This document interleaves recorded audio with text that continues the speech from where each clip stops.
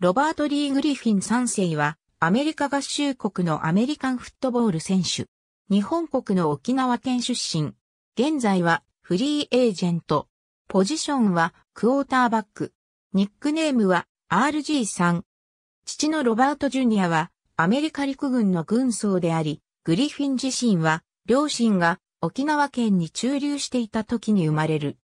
3歳まで日本で過ごし、その後はワシントン州タコマのフォートルイス基地、ルイジアナ州ニューオーリンズと転々とし、7歳でテキサス州コッペラス後部に移った後ロバート・ジュニアは退軍する。長く日本で生活した二人の姉は日本語を話すことができるという。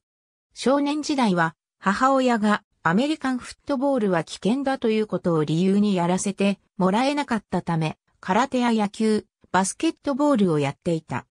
中学生になり、どうしてもアメリカンフットボールをしたかったグリフィンは、母親に、僕は誰にも捕まらないから、絶対に怪我しない。と話し、それを見事に実行し母親を認めさせた。高校時代は、アメリカンフットボールの他に、陸上競技のハードル種目の選手としても活躍しており、全米トップクラスの評価を受け、2007年のオールアメリカンに選出されたほどだった。2008年にベーラー大学に入学。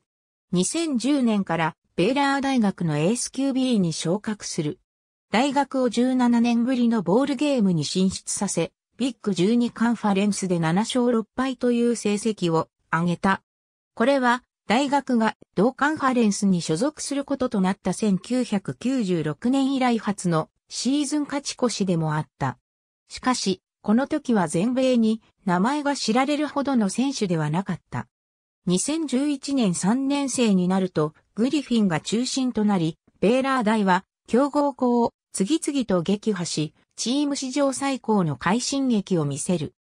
特に全米屈指の名門校オクラホマ大学を下したことで一気にグリフィンの名前が全米中に轟き、最終的にベーラー大はビッグ12カンファレンスを10勝3敗、全米大学ランキング13位というチーム最高の成績で終える。この活躍でその年最も活躍した選手に贈られるハイズマン賞の選考で1687ポイントを獲得、1407ポイントのアンドリュー・ラックを破り、受賞した。2012年1月、大学最終年には進まず、アーリーエントリーすることを表明した。2012年2012年の NFL ドラフトにて1巡目、全体2位でワシントンレッドスキンズに指名された。グリフィンは多くの評論家がラックに次ぐ全体2位指名されると予想し、当初レッドスキンズは全体6位指名権しか持っていなかった。しかし、全体2位指名権を有していたラムズが3年目のサム・ブラッドフォードをフランチャイズ QB として起用継続することを選択し、グリフィンをフランチャイズ QB として期待するレッドスキンズが2012年のドラフト1巡、2巡指名権、2013年、2014年のドラフト1巡指名権との引き換えで全体に指名権を獲得した。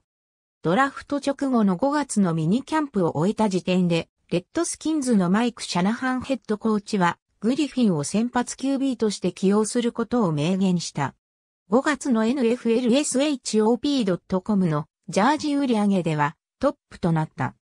7月には人気セレブリティのキム・カーダシアンがグリフィンに関心があるとテレビ番組で語ったことに対して全く興味がないと語った。またトレーニングキャンプを前に2012年には様々な表彰式やコマーシャルに出演するつもりはないことを明かした。開幕戦のニューオーリンズ・セインツ戦では、パス26回中19回成功、320ヤード、2TD、QB レーティング139.9の大活躍を見せて40から32と勝利した。第5週のアトランタファルコンズ戦では、ショーン・ウェザースプーンに強烈なクリーンヒットを受けて負傷交代した。第6週のミネソタバイキングス戦では、パス22回中17回成功、182ヤード、1TD、ラン138ヤード、2TD を上げて、38から26で勝利した。この試合の第4球には76ヤードの TD ランを見せている。第8週のピッツバーグスティーラーズ戦ではトリックプレーでレシーバーとして起用されたが、ライアン・クラークからハードヒットを受けた。3連敗して3勝6敗、NFC 統地再開となったところで、チームキャプテンに選出された。第11週のフィラデルフィア・イーグルス戦では、パス15回中14回成功、200ヤード、4TD、INT なし、QB レーティングは158.3の最高値、ランでも84ヤードを走る大活躍を見せて NFC 週間最優秀選手攻撃部門に選ばれた。サンクスギビングデーに行われた第12週のダラスカウボーイズ戦ではパス28回中20回成功、311ヤード、4TD、1INT の活躍で38から31と勝利した。第13週のニューヨークジャイアンツ戦では相手タックルを受けてファンブルしたが、これをジョシュ・モーガンがダイレクトで広い13ヤードを走り TD を決めるなど、第14週のボルチモア・レイブンズ戦では8点ビハインドの第4Q 残り1分を切ったところで膝を負傷退場、同じ新人 QB のカーク・カズンズのリリーフを仰いだ。第15週のクリーブランド・ブラウンズ戦は欠場、カーク・カズンズが先発出場した。12月に ESPN のアナリスト、ロブ・パーカーが、グリフィンのことを人種差別的な意味を含む、 cornball brother と発言、謹慎処分を受けた。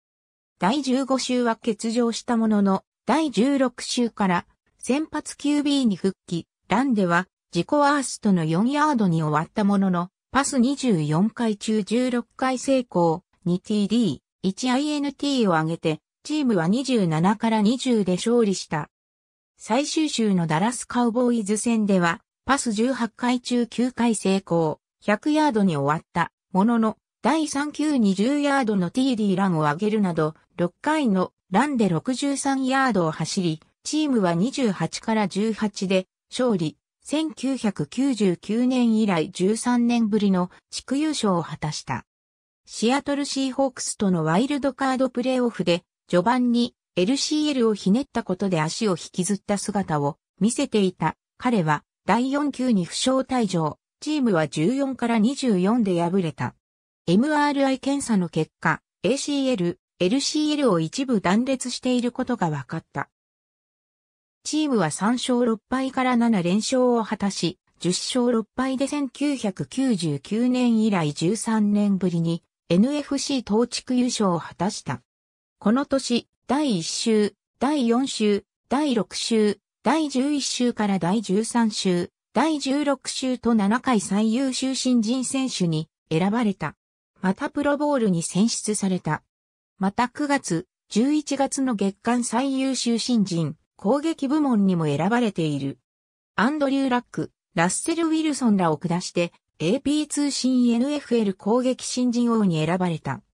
2013年第7週のシカゴベアーズ戦では、パス29回中18回成功、298ヤード、2TD、1INT、ラン11回で、シーズンハイの84ヤードを記録、45から41での勝利に貢献した。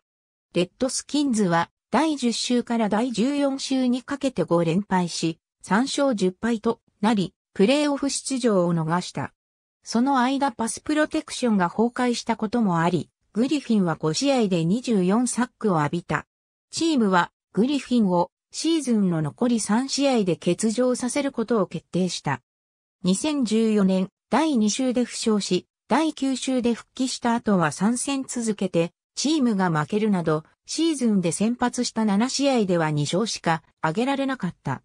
2015年シーズン前のプレシーズンゲームで脳震盪を起こし、シーズンでは1試合も出場しなかった。シーズン終了後に放出された。2016年クリーブランド・ブラウンズと2年契約を結び、開幕戦に先発するも負傷し、シーズンでは5試合の先発出場にとどまった。シーズン終了後に放出された。2017年どのチームとも契約せずにシーズンを終えた。2018年ボルティモア・レイブンズと契約。しかし、ジョー・フラッコ、ラマー・ジャクソンに次ぐ第3バックアップ QB にとどまった。2019年、フラッコー開幕前にデンバーブロンコスに放出したにもかかわらず、ジャクソンのバックアップ QB にとどまる。